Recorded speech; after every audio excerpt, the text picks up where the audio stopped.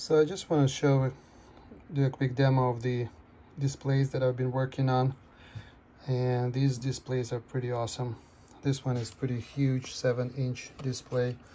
And this one is a smaller one, and there are also versions of different sizes. So this one's seven inch, this one is 4.3, but there are also five inch, I think two point something, and different size available, but they work pretty much the same, just different size. Uh, what's cool about this displays is that it has a pretty good graphics.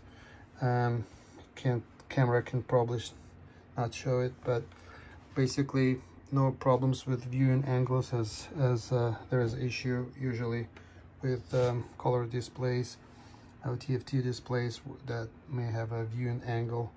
Um, so this has IPS matrix that doesn't have that issue. Um, touch is great. It's capacitive touch, not a resistive touch. Uh, full stack of uh, connectivity or uh, wireless functionality, although it can be used wired, uh, wired to the next-gen controller. But this all already reads uh, pretty much everything remotely, or not remotely, but wirelessly the Bluetooth over the Bluetooth, so no wires really required, just the power for the display. And more information or details on this to come, but I'll just say that these displays will be available soon.